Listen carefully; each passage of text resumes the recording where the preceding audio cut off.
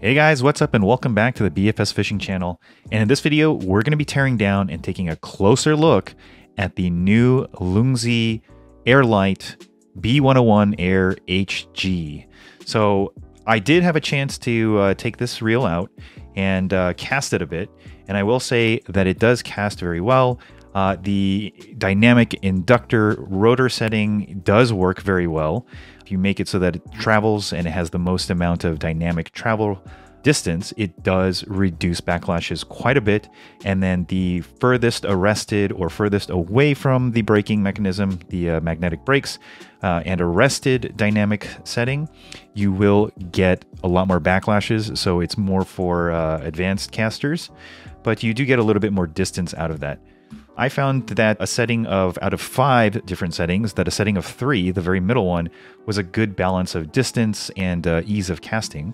But, anyways, I wanted to show you guys how you actually can adjust the rotor system. And so you can see here I have a good amount of travel, and that's because I am on setting three. What I want to show you is basically there are three little tabs, so one, two, and three. So, where those three tabs are when you're out fishing, it's the easiest to use your fingernail. Now, I, I don't really like doing that, but that's what they recommend. So there's one, two, three little tabs, and you can use any of those to kind of get purchase on the uh, white plastic ring. And if you'll notice, if you look inside, there's like a little, almost like a little, like a plateau or a table shape. But that is actually the uh, mechanism that moves. And so in order to set it, if you set it to the right, fully to the right, then what happens is you get the least amount of travel. So that's the fully arrested setting. If you make it go all the way to the left, so you just take it again, move your fingernail and move it to the left or counterclockwise, then you get the most amount of travel, right? And you're probably getting about two millimeters worth of travel in the uh, the rotor system. So that's how the uh, the system is adjusted, and that's how it works. When you have the most amount of travel, what happens is when the spool is spinning the fastest, the rotor actually travels into the side plate where all the magnets are, and it gives you the most braking effect. So it's it's very beginner friendly when you have it uh, at the most amount of travel, but you do reduce some casting distance. Uh, I wasn't able to really, you know, measure how much you reduce the casting distance by, but you know, if I were to guess, it would probably be around like five to ten feet or so. But that being said, you know, it, it makes it a lot easier to cast, you know, really hard because it's very, very uh, backlash resistant. Okay, so let's let's go ahead and start with bearing sizes. And so in order to go ahead and remove, and also I need to get some measurements because last time I did not get measurements for you guys. And so hopefully you guys can see this is gonna be the overall spool weight with the bearing on it. And let's see if we can get it to stop moving. So I'm getting a measurement of 8.23 grams, and that is the spool weight. And then we'll go ahead and get some measurements on the diameter. So and that should be a 34 millimeter spool. And yes, it is. That's the most, the outermost diameter is coming in at 33.95. So that's basically 34. And then the inner diameter is coming in at about 28.87. So that's about a 29. So it is a fairly large diameter spool. And because of that, I, I kind of attribute this reel to more of like a, a longer distance casting and reel. And it's more favorable to have, you know, kind of heavier lures. I'm, I'm talking about like maybe two, three, four, five gram lures, maybe even higher. Loongze does rate this reel for up to 10 grams, and I'm wondering if it actually will go higher than that, but uh, I have not tested that yet. Anyways, so those are the measurements for the spool itself, and I will, I'll go ahead and disassemble the spool for you guys, but I'm going to get some gloves first. Okay, back. Um, all right, so I'm actually going to go ahead and most likely upgrade and swap out these two ceramic, orange seal ceramic ball bearings because they're quite loud actually on casting.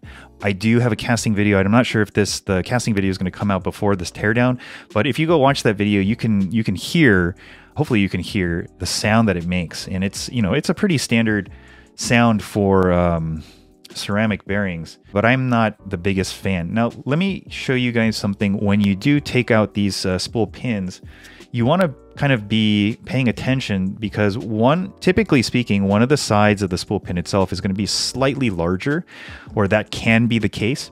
And so if you do see kind of a size difference in the diameter of the spool pin itself, then what you want to do is you want to push out the spool pin from the side that is thinner. And that's because it's kind of acting like a wedge. And so that's what I'm actually going to go, go ahead and do here. And so this tool that I'm using is a spool pin removal tool. And it's basically a little press, a screw press.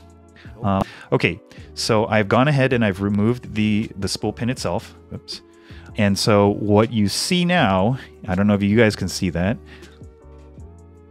is there's actually a C-clip there. And that's a that's kind of a new thing to me. I've never actually seen that before on on a spool. I would have preferred to see an O-ring instead because an O-ring would be easier to remove and probably lighter weight, although, you know, you're probably not going to it's not going to add, you know, all that much weight to everything, but still, it's weight. And uh, this tool that I've got here is actually specifically designed to remove C-clips. It's a tool made by a company called Dynamite. And I bought it for, you know, smaller C-clips, but this is a fairly large one. And this one is using a 2.0 millimeter size. Okay, so I was successful in getting these, this uh, bearing off, and I'll get a size for you guys right now. So the outer diameter of this bearing is going to be 11 millimeters. The inner diameter is going to be approximately 5 millimeters because it's coming in at a 4.9. And then the thickness is coming in at 3.95, so it's going to be a 4. So 11, 11 millimeter outer diameter. I think it's a 5 millimeter inner diameter. Yeah, 5 millimeter inner diameter, and then a 3, nope, 4 millimeter width. So that is the size of the spool bearing itself. And I just so happen to have a spare Roro BFS T bearing lying around. So I'm just going to go ahead and swap that now. I just don't like how orange seals are so loud. And so we're going to go ahead and reinstall this. So you're going to you're going to have to reinstall this little C clip to keep things in place. And I may actually look for um, an O-ring to replace this C clip because C clips are not things that I enjoy installing or removing, especially on camera because they are not the easiest to work with. Okay, so let's see if I can't reinstall this. There we go. Wow, this tool makes it does it, it does make a, a difference in in removal, but it doesn't really work on like super micro C clips, but not bad. Um, okay, so I'm going to go ahead and reinstall the pin itself, and you want to install the smaller side first if, if your spool pin is tapered. Sometimes they're not. Sometimes they're not. And so the way you do this is basically you line it up. And sometimes keep in mind that sometimes these uh, spool pin removal tools will actually not be compatible with your spool. It just all kind of depends because if you notice they have this uh, kind of stepped inner, almost like a like a circle. But sometimes that actually doesn't really line up with your spool. And then also the offset of where the actual spool pin is uh, in comparison to the edge of the spool, it doesn't always line up perfectly. So there are other uh, spool pin removal tools, like for example the Daiwa SS Air TW. I had to actually purchase a um, an SLP Works uh, specifically designed spool pin removal tool for that. Real kind of a kind of a pain in the butt. All right, so when you do reinstall it, you want to make sure that both sides of the spool pin are equidistant from the center. And so it's not like favoring or biased towards one side more. Anyways, that's going to be the spool itself. I've gone ahead and swapped out the bearing on that. And then now we're going to go ahead and remove the, uh, the bearing from the side plate. I do need a replacement for that. Unfortunately, I don't have a Roro bearing for that one. And to do this, there is a spring clip inside, and let me go and show you guys. There's two arms. I use my forceps and I push in while I keep my thumb on the main body of the clip itself. I push in on one side, and then I will go ahead and pull out the pin itself, or the clip itself, I'm sorry. All right, so to remove the bearing, I have this really handy Roro bearing removal tool. And all you do is you find the size that will go into the inner diameter. And then you just kind of press fit it in there and it'll pop right out. So let's get a size on this bearing. That one's going to be a 10 outer diameter, followed by a 2.83, so it's a 3. So a 10 by 3 by 3.96, so 10 by 3 by 4 size bearing. So that's a more standard size that you see. All right, to reinstall, you just press fit your bearing back, and then you can, what I like to do is I like to seat one of these, uh, the arms of the clip, and then just kind of hold it there. Then I'll take my forceps and I'll kind of just gently manipulate it. You are going to put some tension on that spring, so be very careful not to lose it. And uh, and then if you see something like this, where you know one of the arms has kind of gone into the bearing itself, you just reposition, use your forceps to kind of re-manipulate everything, and just make sure that every part of that spring clip is actually seated in the groove that it's supposed to go in. Okay, so that is the side plate. Now let's get to the uh, the meat and potatoes of this reel. So uh, actually provides a spanner wrench, and the spanner wrench is what you do need to use to take off this handle. But if you'll notice, there's kind of this uh, these little tiny pins in a in a in a like a five a number five dice pattern, and that is actually for removal of your handle knobs. And so what we'll do is we'll go ahead and, and center everything on the handle knob cap and I'm going to go ahead and take the handle knob apart because I am not a fan of these and I'd like to know the sizes for future reference. And then the cap will come off as a, uh, a threaded cap. So that's pretty nice. And then what you're left with is a uh, Phillips screw. And so we'll go ahead and remove that. All right, so there's the screw itself. And then you just remove the handle go ahead and measure the bearings.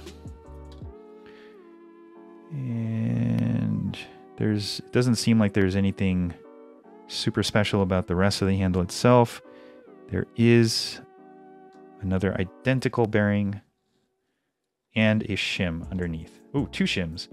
So, like I said before, the handles themselves are actually shimmed very well. I had one that was uh, one handle was ever so slightly had a little bit more slop in it than the other one, but the outer diameter is a 7 on this. I bet you this is going to be a 7 by 4 by 2.5. Inner diameter is 4, and then width is 2.5. Yeah, so a pretty standard uh, handle bearing size. And then the length of the handle shaft itself is coming in at about 20 26.97. So that's going to be about a 27 millimeter shank length.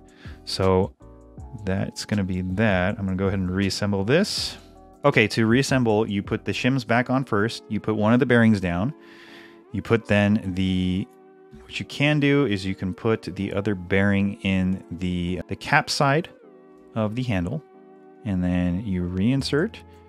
You need to reseat that bearing and then we'll go ahead and put our screw back in, which this can be a pain sometimes, especially if the threaded part of that handle shank is pretty far recessed into the handle itself.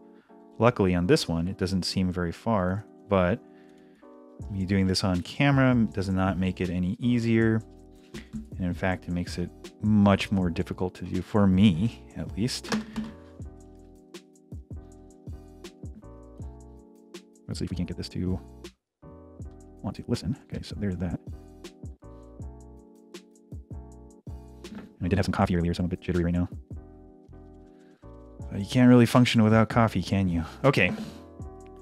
So somehow I lost, ended up losing one of the shims, but I'm going to end up swapping these uh, handle knobs out anyways, so I'm not really concerned about that right now. But that's one of the reasons why you should work in a very clutter-free area. And if you guys saw the rest of my my little workbench, you would you would see that it's not very clutter-free. What you only what you guys see on camera is not the whole picture.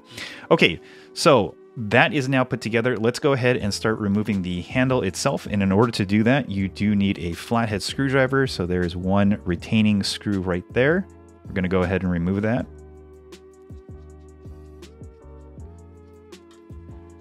So we'll set that aside. And now we're going to go ahead and use the spanner wrench. And the reason why you need this is because of the way that the sorry, that's the uh, retaining clip, but the way that this bolt is actually recessed into the handle. So they've kindly provided you with an offset spanner wrench in order to remove that. And because this is a left-handed, it's going to be righty-loosey. Oh, nope. Lefty-loosey. Okay. So that's actually kind of nice. Um, yeah, maybe it's been a while since I've actually removed a locking bolt. This is actually a bolt and not a nut. So that's another little bit of a difference. And you'll see this kind of style in like Daiwas like to use these bolts. And there is, it looks like, oops, everything's falling apart on me. There is a little plastic washer underneath this so be sure not to lose that because it's a, a very thin, clear plastic washer, if you can see that right there. Okay, so I'm going to go ahead and put that down. And then what was under that was this flat, larger washer. And then underneath that is going to be a spring washer. And I'm not the biggest fan of this design because everything, as you just saw, just kind of fell out there usually you'll see all of uh, this this flat washer and the spring washer underneath the star drag, but in this case, uh, it was not underneath the uh, the star drag. So just keep that in mind. Um, I'm putting the spool back in so that I can get a little bit of uh, resistance on the star drag itself, and so we'll go ahead and start removing that. And to remove that, you need to go counterclockwise on a left-handed model. And uh, let's take a look at this star drag. So everything is this is fully machined out of aluminum. There is a washer inside of it, a flat one. So we'll go ahead and take that out. I'll put that right there next to the rest of this. But you can see how it's uh, got a bunch of flutes on the inside of this uh, star drag. And so that's actually what makes the, the star drag clicking sound.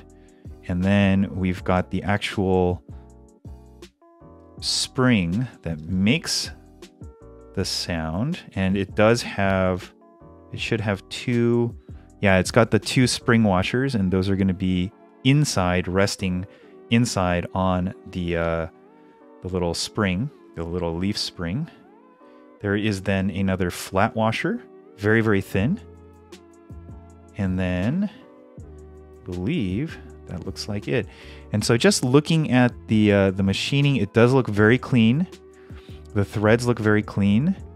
Uh, I do see just a little bit of leftover aluminum shavings, so hopefully they can, you know, work on cleaning that up. And now we can go ahead and remove the spool, I don't need that anymore. We'll set aside our provided spanner wrench. I'm going to go ahead and open up the spool tension cap. And inside of this one, it's fluted, but there's also a anti-friction washer in the very bottom. So be sure not to lose that. I'm just going to set that aside right here. And uh, we've got a spool tension shaft right there. It looks like a nylon material. And then you've got this uh, like leaf spring, but it's like already resting inside the frame itself. And that's kind of a nice touch because then you don't really lose it. But uh, at the same time, don't take it out because then you will lose it. All right, so let's get into the main body of the reel. And what I see is a bunch of, a couple of Torx screws. So there's one right here, there's one resting right there, and then there's another third one right there, followed up with uh, two Phillips style screws. So we'll go ahead and remove those Phillips screws, and then we'll work on the Torx. Wow, these are in there really good. Okay, so when you're up against a screw that is that feels like it's almost frozen inside, and you feel like the uh, your screwdriver is going to slip, I would suggest not either making sure that you've got the right size screwdriver, but you can also give it uh, like a tiny turn to tighten it, and that might free it up. And so I'm actually slipping on that. That's not good. Okay, so I'm gonna try to see if I can size up on my my Phillips, but I may not have may not have something that works. Aha. Yeah. So sizing up really helped with that one. It made made it very very easy to take out. So I should have I should have as soon as I saw that backed off and then just broke out the uh, the correct size screwdriver. All right, so let's go ahead and find the uh, the Torx sizes for this, and they do all look to be identical. So it looks like they are a T10. So a T10, and I hope, I hope that I'm able to actually access these with this screwdriver. So it looks like I can get to one, but maybe I may not be able to do this without an actual dedicated Torx screwdriver, which is kind of unfortunate. All right, so I may be at a bit of an impasse here, but I'm to try doing this anyways. And uh, I don't advise that you guys do this on your reels at all. So let's see if we can't work something out here. Okay, I can definitely access this one from the side. So that's good. I can access number two from the inside of the reel. Um, yep.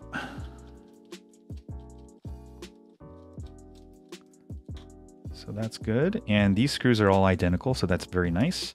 And then let's see if I can access this third one. I can definitely access it, but yeah, I, I do think I need to get a dedicated long shaft Torx screwdriver set. And actually, that one is a little bit different. I put the reel down right there. So one of them is a slightly longer length, and that screw came out of the bottom bottom location of the inner three screws. So just keep that in mind that there are different lengths when you're uh, going to put this together again. All right, so let's get into the main gearbox. We're going to lift this straight off. And so here we are. Let's lift this over. I'm to go ahead and take out this anti-reverse bearing sleeve. And it is keyed. And so I don't know if you guys can actually see that, but it is keyed, which is very, very nice because I think that is what helps and allows the handle to not have any kind of slop in the side to side movement, but also the in and out movement along the uh, axis of the uh, main shaft. But what I see, which is actually really cool, is that there is a C clip almost. You can see that clip moving around inside of there. And that C clip is retaining this anti reverse bearing. Uh, the spool tension bearing is also, you know, clipped in, which is, you know, pretty standard. But would you look at that machining on the side here? I mean, those are some really, really small passes. I'm not an expert on machining, so if you guys are out there, uh, you know, does that look pretty good? Because it looks pretty good to me. Um, the material itself, the uh, side plate material, let's see how thick it is.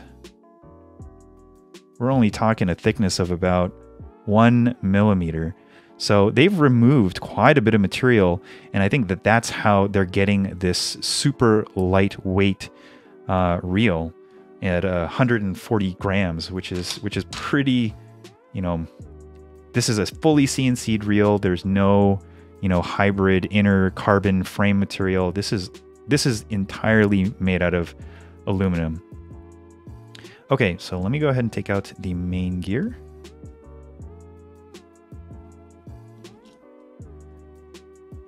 Very nice. Okay, so let's just take a look at this and see what we can see. So this um, this clicker mechanism also has a nice washer. So that's really great to see because I think that also helps to remove any and reduce any slop There is the anti-reverse ratchet gear. So we're going to go ahead. Oops. We're to go ahead and take that off.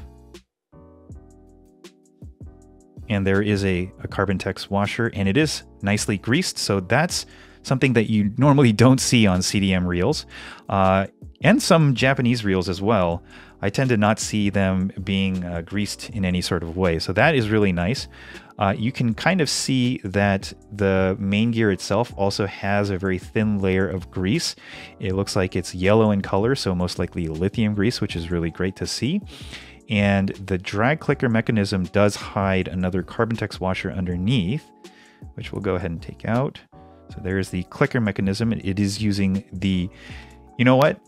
This is the first uh, drag clicker mechanism that uses this leaf spring style that sounds good to me. It sounds almost like what Daiwa's got with their little tiny, uh, like their little cam and spring design. But this is a design that I've seen more and more commonly used now. And I don't really like the sound of it because it sounds really hollow. But on this reel, it sounds really good. So kudos to Loongze for tuning it the way that they've done uh, because it sounds really good. And then we've got a flute ring in there. And then it looks like I can't really tell, and I don't really want to take it apart, but it looks like if you guys can see, there's like a toothed ring on the inside underneath this uh, flute ring. And I'm wondering if that's another C-clip to hold in this uh, Carbon-Tex washer, which also feels greased as well. So you know, if that's the case, that is really, really cool. Uh, I don't know if you guys, I don't know if you guys can see, I don't know if my camera's focusing, but the main gear does look machined very well. So that's really good to see. And then let's go ahead and take a look at the uh, rest of the reel, the pinion and the yoke. I'm gonna go ahead and take the yoke and set that aside. I'm already losing parts. So there's the other spring. And let me go ahead and clean this off really quickly.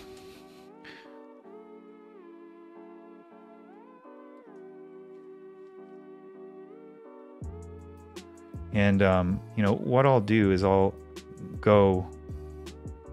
What I do when I'm, you know, tearing these reel down, reels down is I'm basically doing an almost like a, a pre-tune service um, you know, I clean up any gunk that I see, but this actually doesn't look very bad at all. And then I just want to show you guys the machining on the pinion itself. It does look like there's a bit of a shoulder there, which is really nice to see because that's where uh, the bearing will, the pinion bearing will rest and make contact with. And yeah, the machining looks really, really good to me. So, yep, very nice. And then let's take a look at the body. Wow, this is so light, this part right here. Uh, where's my scale? Let me just measure this really quickly because this this portion itself is extremely lightweight to me. 45.87 grams. I, I don't have anything to like, you know, uh, kind of make a reference to, but this frame, the main frame itself, you know, it still has some extra parts on there. Super light, super lightweight. I mean, that's that's really impressive. There are some thinner parts right here. This looks like it's a, a plate that's um, sc actually screwed on. There is a little Phillips screw underneath the uh, main gear cog. So that is pretty cool to see. And I think you would access, yeah, so the, the main gear cog just pops off. It is keyed, and so, you know, you can put it back on easily. And the main shaft itself does does not have any play in and out along the axis. It does have a little bit of uh, play side to side, but I think you know the keyed portion of the anti-reverse bearing sleeve helps a lot with keeping that together. And then let's go ahead and we'll go further into the reel. Let me see if I can yeah, I think by removing these two screws that are right next to the main gear shaft, we can actually take off this uh, little tiny plate. So two screws there. And then this hopefully should just pop right off, but it doesn't seem like it wants to. So let's see. Interesting. All right, so I'm not going to force anything right now. But because it is loose, it you know, definitely can be removed. I'm going to take out these two screws right here next to the worm gear. And then we'll see if uh, can't free anything up that way. Remove these screws aside. Put those right there. The main gear or the main shaft is also ported, which is nice to see. Very nice touch. Okay, so that's the key right there. And um, yeah, so that was the key to removing this. And underneath here, there is another bearing, which is very nice. And uh, this is the outside bottom where you see the serial number, so that's pretty cool. And not much slop, so it is shimmed fairly well on this. It there, there is a little bit of play in there, but that's okay because everything is held in place by screws, and so there's not going to be any movement on that part. So we'll go ahead and put that down. And then the this little tiny this little tiny plate right here was keeping everything together. So that's pretty cool to see. Um, and then the worm shaft can pop out. And there is another bearing at the end of the worm shaft though. So that is, that's going to be a 12 plus one ball bearing reel. So very cool. The construction, I want to say the construction of this, this reel itself is actually really top quality. I mean, I don't see any other, you know, like leftover shavings from the manufacturing process. Everything is machined really well. I mean, I don't know if you guys can see all the machining marks that are kind of in like swirls and whatnot, but yeah, very impressive to actually hold the frame itself and be so lightweight. I'm not going to tear the reel down any further. I don't think I need to really take apart the worm gear or anything like that. Uh, if you guys are really interested in the future, then I can definitely go ahead and do so. But yeah, very impressive on the construction of this reel. I'm gonna go ahead and put everything back together and uh, you know add some of my own grace where uh, where I see fit. But yeah, good job, Loongze. This is this is a really well made reel. I, I don't I don't have a conquest to compare to, but I have opened up a uh, a Daiwa Millionaire, and I would say that uh, this is maybe like 90% of the uh, construction quality of the Daiwa Millionaire. And new, the Daiwa Millionaire was a very, very expensive reel, uh, a lot more expensive than this reel. So, with that being said, I think that's going to do it for this video. Uh, were you guys impressed by the internals? If you have any questions about any of these parts or yeah, any, any questions about the reel itself, please go ahead and uh, leave me a comment in the comment section down below. I will do my best to answer you. I, I pride myself in answering all of your guys' comments and I really love having conversations with you guys. If you like the video, consider giving a thumbs up. If you haven't subscribed, please consider subscribing. Uh, it really helps the channel grow. And with that being said, thank you so much for watching and I'll catch you guys in the next one. Peace.